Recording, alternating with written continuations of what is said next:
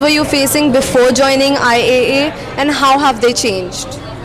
Uh, first of all, I'm Parul Shah and uh, I'm the author of this book Empowered with BLA Phonics. And uh, before joining IAA, I never knew how to do it. Like even we can do it as an common man. I thought it's only publishers and people who are into the field can do it. So after meeting Sweta, after attending all her sessions, uh, she has made it so simple that it is very co- I mean easy for anyone and everyone can do it.